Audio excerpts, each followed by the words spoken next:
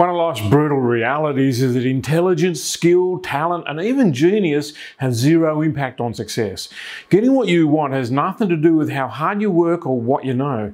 Because the simple reality is if we did what we know is good for us, we'd all be skinny, rich, and happy. Therefore, we can say that whilst your knowledge of how to lose weight, make money, and be happy could fill the local library, that same knowledge is translated into sweet FA for most people. The answer isn't your brain power, your work ethic, or your qualifications it's your behaviour.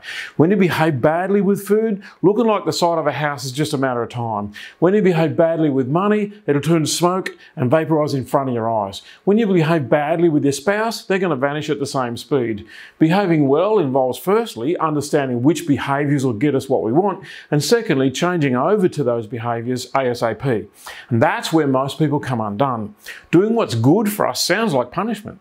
When saving some money to put into an investment strategy comes comes up, most of us want to do that about as much as we want to clean the public toilets with a toothbrush.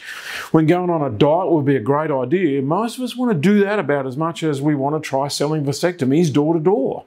When doing the washing, cooking, cleaning, and ironing for a week would give our partner a much needed break, most of us want to do that about as much as we want to, well, uh, do the washing, cooking, cleaning, and ironing for a week. Being reluctant to do the hard yards, the unpleasant, the difficult, the uncomfortable, but obviously necessary, is not a new concept. It leads to the obvious question how do I get motivated to do the stuff that bores me shitless or makes me feel like crap or isn't fun and doesn't deliver? But if you did ask that question, you'd be amongst the eye-watering number of people who look up that exact same term in Google last month and the month before that and the month before that. It's not rocket science to figure out that no one actually looks forward to living on the smell of an oily rag, feasting on boiled broccoli, or working all day doing something that needs doing again tomorrow. So here's the real problem.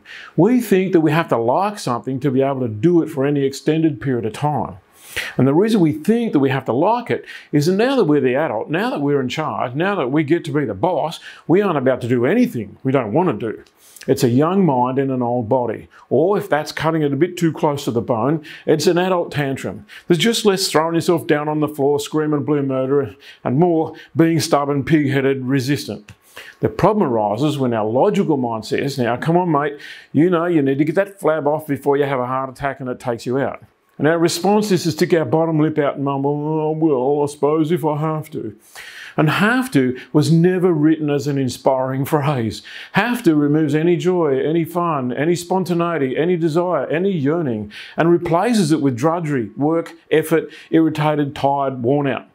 But check out my client, Jack. He's been going to the gym five days a week for 25 years. He doesn't like it. He explains how boring it is to lift the weights up and put them back exactly where they were, how slow the gains are, and how glad he is when each session is finished. He also explains that this is his small picture view. His big picture is being fit, healthy, vital, and exuberant into his 90s. He's removed the do I like it question. He's motivated by what he wants in life. He says that the price of living his values is minor compared to the benefit. He likes who he's become in the process of doing what he knows he needs to do. His self respect is through the roof. He won't eat what others call a treat because his experience is that it slows him down in the gym.